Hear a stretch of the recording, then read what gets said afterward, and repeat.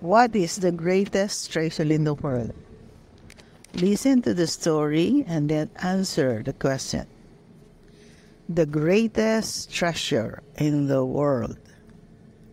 Once upon a time, the greatest treasure in the world was hidden in a chest. The chest was locked and was inside a cave that could only be found with the help of a map. A monkey found the key to the chest in a tree. An elephant managed to move a big rock that stood in the way. A snake found the map under some stones with the help of a compass.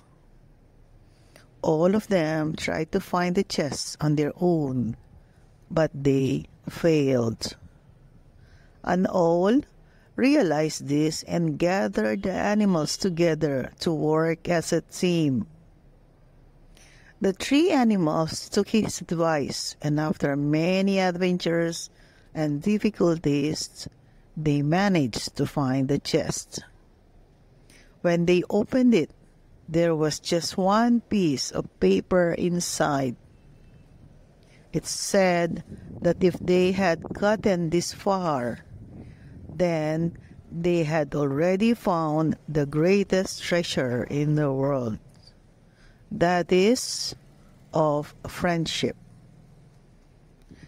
The animals realized this was true and they happily remained friends for life. Now, again, what do you think is the greatest treasure in the world?